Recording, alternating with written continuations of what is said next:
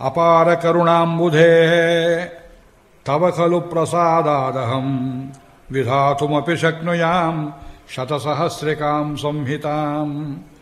ತಥಾಪಿ ಹರಿಪಾದುಕೆ ತವ ಗುಣೌಖಲೇಶ ಸ್ಥಿತೇ ಉದಾಹೃತಿರ್ಯಂ ಭವೇದಿತಿ ಮಿತಾಪಿ ಯುಕ್ತ ಸ್ತುತಿ. ಈ ಒಂದು ಸಾವಿರ ಉದಾಹರಣೆಯಾಗಲಿ ಅಂತ ಕೊಡ್ತೇನೆ. ಆ ಪಾದುಕೆಯನ್ನೇ ಕೇಳ್ತಾರೆ ತಾಯಿ, ನೀನೇ ನನ್ನ ಬಾಯಲ್ಲಿ ಹಾಡಿಸ್ಬೇಕು ನಿನ್ನ ಮಹಿಮೆಯನ್ನ. ಇದು ಮೊದಲನೇ ಪದ್ಧತಿ ಕೊನೆ ಶ್ಲೋಕ.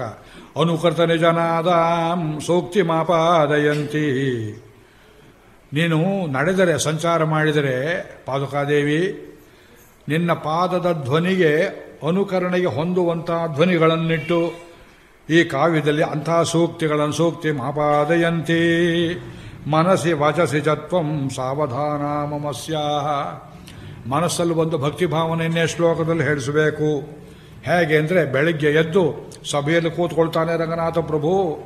ಅವನು ಹೇಗೆ ಕೇಳಬೇಕು? ನಿಶಮಯತಿ ಯಥಾಸೌ, ನಿದ್ರಯ ದೂರ ಮುಕ್ತ. ಪರಿಷದಿ ಸಹ ಲಕ್ಷ್ಮ್ಯ ಪಾದುಕೆ ರಂಗನಾಥ.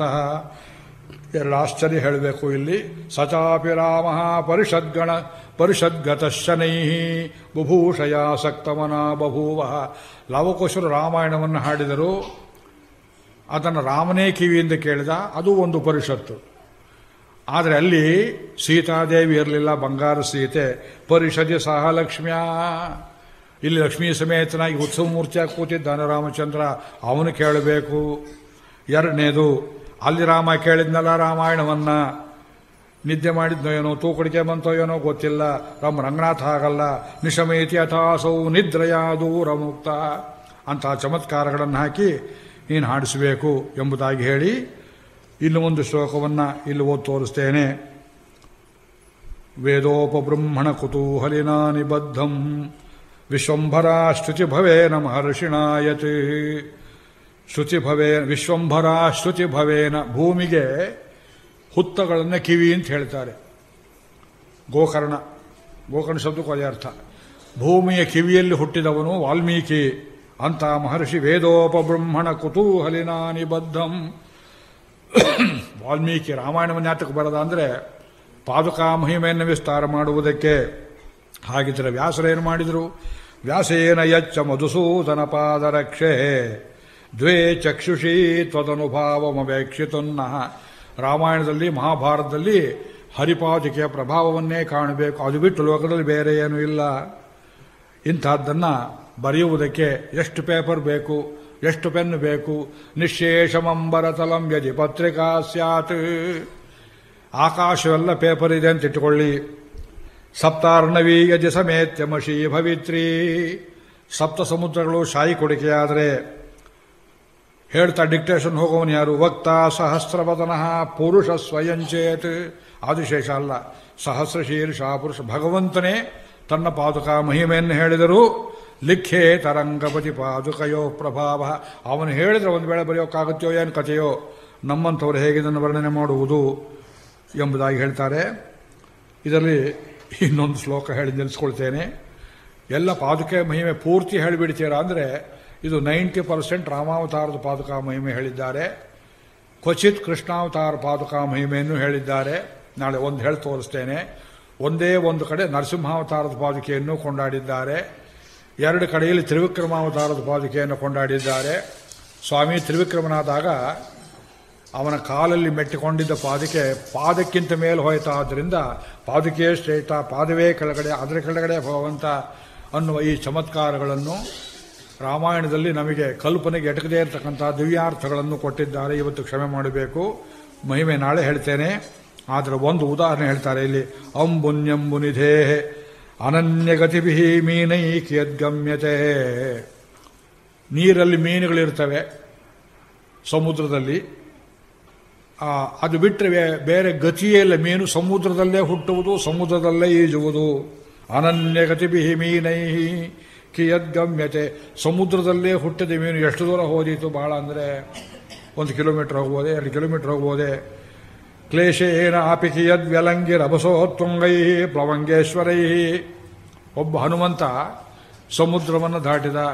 ಅದು ಕ್ಲೇಶೇನಾಪಿ ಕ್ಲೇಶಪಟ್ನೋ ಏನು ಕಥೆಯೋ? ಅದು ರಭಸೋ ತುಂಗೈ ಪ್ಲವಂಗೇಶ್ವರೈ ಬಹುವಚನ ಹಾಕಿದ್ರು. ಒಬ್ಬ ಹನುಮಂತ ಮಾಡಿದ್ರು. ಎಲ್ಲ ವಾನರರು ಆ ಸಮುದ್ರವನ್ನು ಲಂಘನೆ ಮಾಡಿದ ಹಾಗೆ ಭಾವನೆ ಮಾಡಿಕೊಂಡ್ರೆ ಹೊರತು ಒಬ್ಬನೇ ಮಾಡಿದವನು ಅವನಿಗೂ ಸ್ವಲ್ಪ ಶ್ರಮ ಆಗಿರಬಹುದು ಅಂದರೆ ಸಮುದ್ರದಾಳ ಹನುಮಂತನಿಗೆ ಗೊತ್ತಾಗಲಿಲ್ಲ, ಹಾರಿಬಿಟ್ಟ. ಮೀನುಗಳು ಸಮುದ್ರದಾಳವನ್ನು ಕಂಡು ಹಿಡಿಯಲಿಲ್ಲ.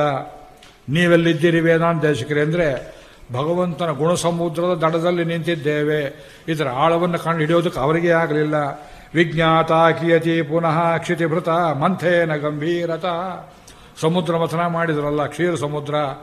ಆ ಮಂಥರ ಪರ್ವತಕ್ಕಾದರೂ ಅದರ ಆಳ ಗೊತ್ತಾಯಿತು? ಆದ್ದರಿಂದ ಕಿಂತೈಹಿ ಕೇಶವ ಪಾದುಕ ಗುಣಮಹಾಂಬೋಧೇ ತಟಸ್ಥಾವಯ ಮೇಲ್ ದಡದಲ್ಲಿ ನಿಂತಿದ್ದೇವೆ. ಆ ದಡದಲ್ಲಿ ಸಿಕ್ಕಿದಂತಹ ಮುಣಿ, ಮಣಿ, ಮುತ್ತು, ಮಾಣಿಕ್ಯಗಳನ್ನು ಮಾತ್ರ ಕೊಡ್ತೇನೆ. ಈ ಪಾದುಕೆಗಳ ಗುಣದ ಆಳವನ್ನು ಹೇಳಲಿಕ್ಕೆ ಬರೋದಿಲ್ಲ ಅಂತ ಹೇಳಿಕೊಂಡು ಒಂದೊಂದು ಶ್ಲೋಕದಲ್ಲಿ ಒಂದೊಂದು ಶ್ಲೋಕದಲ್ಲಿ ಒಂದೊಂದು ಆಶ್ಚರ್ಯ ಇಟ್ಟಿದ್ದಾರೆ. ಅದರಲ್ಲಿ ಮೊದಲು ವರ್ಣನೆ ಮಾಡುವುದು ಸಮರ್ಪಣ ಪದ್ಧತಿ, ಇದು ನಾಲ್ಕನೇ ಪದ್ಧತಿ. ಭರತ ರಾಜ್ಯವನ್ನು ಪಾದುಕೆಗೆ ಅರ್ಪಿಸಿದ. ಅರ್ಪಣೆ ಮಾಡುವಾಗ ಯಾಕೆ ಕೂತಿತ್ತಂತೆ ಪಾದುಕೆ ಅಂದರೆ ರಾಮಪಾದವನ್ನು ಬಿಟ್ಟು ವಿರಹದಿಂದ ಮೌನವಾಗಿ ಮಾತಾಡದೆ ಕೂತಿತ್ತು, ವಿರಹದಿಂದ ಮೈ ಸುಡುತ್ತಿತ್ತು. ಅದು ತಂಪಾಗಲಿ ಅಂತ ಚಾಮರ ಬೀಸಿದ, ಶೀತೋದಕಗಳನ್ನು ಸಮರ್ಪಣೆ ಮಾಡಿದ, ನೈವೇದ್ಯವನ್ನು ಕೊಟ್ಟ, ತಾಯಿ ರಾಮಪಾದುಕೆ ನೀ ಪ್ರಸನ್ನಳಾಗು ಎಂಬುದಾಗಿ ರಾಮಕಾಡಿಗೆ ಹೋಗುವಾಗ ಈ ಪಾದುಕೆ ಅವನನ್ನು ಕುರಿತು ಕೇಳಿಕೊಂಡದಂತೆ ಇಷ್ಟೆಲ್ಲ ಕೇಳ್ತಾ ಇದ್ದಾರೆ ಜನ, ಪ್ರಭು ಊರಿಗೆ ಬಾ ಎಂಬುವಂತೆ. ಆ ಕಾಲಲ್ಲಿ ಮುಂದುಗಡೆ ಮೆಟ್ಟಿಕೊಂಡ್ರೆ, ಪಾದಿಕೆ ಮುಂದೆ ಇಡುವಾಗ ಹಿಮ್ಮಡಿ ಕೆಳಗೆ ಬೀಳುತ್ತದೆ. ಅದು ಹೇಗಿತ್ತು ಅಂದರೆ, ವಾಪಸ್ ಬಾ ವಾಪಸ್ ಬಾ ಅಂತ ಕರೆಯುವಂತೆ. ಆ ರಾಮನನ್ನು ಪಾದಕೆಯು ಪೀಡಿಸ್ತು ಎಂಬುದಾಗಿ ನೀವು ಕರೆಗೆ ಹೋಗ್ತೀರಿ. ಪಾದುಕಾ ಶ್ಲೋಕ ಒಂದು ಹತ್ತು, ಹದಿನೈದು ಶ್ಲೋಕ ನಾಳೆ ಆರಂಭದಲ್ಲಿ ಅರ್ಧ ಗಂಟೆ ಕಾಲ. ಇದಕ್ಕೆ ಅದರಲ್ಲಿ ಏಕಾಕ್ಷರಿ, ದ್ವಕ್ಷರಿ, ಚಿತ್ರ ಪದ್ಧತಿಯಂತೂ ಆಶ್ಚರ್ಯಕರವಾಗಿದೆ. ಒಂದೇ ಅಕ್ಷರ ಶ್ಲೋಕ ಬರೆದಿದ್ದಾರೆ, ಎರಡು ಅಕ್ಷರ ಬರೆದಿದ್ದಾರೆ. ಈ ಕಡೆ ತಿರುಗಿಸಿದ್ರೆ ಅದೇ, ಆ ಕಡೆ ತಿರುಗಿಸಿದ್ರೆ ಮತ್ತೆ ಅದೇ ಬರೋ ಹಾಗೆ ಆ ಚಿತ್ರ ಪದ್ಧತಿ. ಅದು ಅಧಮಕಾವ್ಯ ಅಂತಾರೆ ಕೆಲವರು. ಅದು ಮಾಡಿ ತೋರಿಸ್ಬೇಕಲ್ಲ ಕವಿಗಳು. ಮಾಡಿದ್ದಾರೆ ಒಂದು ಸಾವಿರದ ಎಂಟು ಪದ್ಯಗಳು. ಅಂತ್ಯಕಾಲದಲ್ಲಿ ಯಮದೂತರು ಬಂದು ನನ್ನನ್ನು ಕರೀದೇ ಇರಲಿ. ತಾಯಿ ವಿಷ್ಣುದೂತರು ಬಂದು ಕರ್ಕೊಂಡು ಹೋಗಲಿ. ನನಗೇನಾದ್ರು ಬಿರುದು ಕೊಡೋದಕ್ಕೆ ಇಷ್ಟವಿದ್ದರೆ ಪಾದುಕಾ ತಾಯಿ, ನನಗೆ ಪಾದುಕಾ, ಸೇವಕ ಅಂತ ಬಿರುದು ಕೊಡು ಅಂತ ಕೇಳ್ತಾರೆ ಎಂಬಲ್ಲಿಗೆ ಇವತ್ತು ತಮ್ಮ ಅಪ್ಪಣೆಯನ್ನು ಪಡೆದು ಮಂಗಳಾಶಾಸನ ಮಾಡ್ತಿದ್ದೇನೆ. ನನ್ನ ಜೊತೆಯಲ್ಲಿ ಮಂಗಳ ಶ್ಲೋಕವನ್ನು ಹೇಳಿ. ಮಂಗಳಂ ಕೋಸಲೇಂದ್ರಾಯ. ಮಹನೀಯ ಗುಣಾಬ್ಧಯೇ.